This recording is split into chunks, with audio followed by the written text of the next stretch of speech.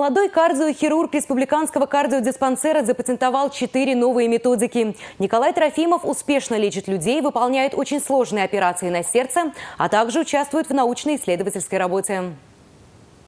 В операционной тишина. Хирургам предстоит отключить сердце и вновь запустить. Операцию по аортокоронарному шунтированию пациентам с ишемической болезнью сердца Николай Трофимов проводит почти каждый день. И каждый из них уникально, требует профессионализма и новых знаний. Кардиохирургия – это однозначно команда. Один человек здесь вряд ли что сможет сделать.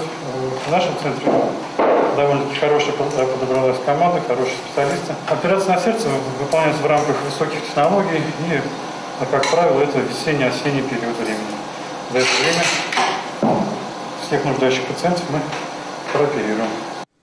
Среднем такие операции длятся 3-4 часа. Все зависит от степени поражения, от объема оперативных вмешательств. В последние годы кардиохирурги республики добиваются больших успехов, находят уникальные эффективные пути лечения сердечных заболеваний.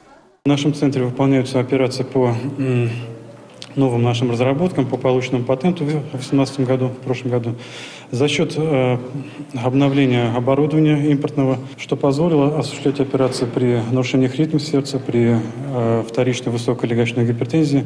Это методика новаторская э, в мире.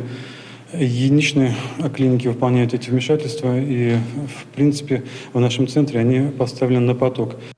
Благодаря разработкам команды врачей, в числе которых и молодой хирург Николай Трофимов, в республиканском кардиодиспансере стали выполнять комбинированные операции, когда у больного несколько патологий. Эффект стал заметен сразу же. А, мы значит, выполняем более 150 операций с искусственным кровообращением в год и достаточно с хорошими результатами. Мы достаточно уникальное отделение, мы выполняем гибридные операции, и в том числе вот гибридные операции по лечению легочной гипертензии. Вот за счет а, вот этой комбинированной методики мы, вот и по нашим данным, отмечается значительное улучшение отдаленных результатов вот в этой категории тяжелых больных. Успехи наших сердечных дел докторов свидетельствуют о том, что ученые на правильном пути. Их исследования продолжаются. Кроме того, в свой актив Николай Александрович может и записать э, несколько патентов, которые позволяют улучшить оказание помощи пациентам с фибрилляцией предсердия и пациентам с патологией клапанного аппарата сердца. То есть это его личные изобретения, которые э, внедрены и освоены на базе кардиодиспансера и являются его личным вкладом э, в улучшение оказания медицинской помощи, повышение выживаемости пациентов и снижение показателей смертности на территории Чувашской республики. Галина Титарчук, Валерий Резюков. Республика.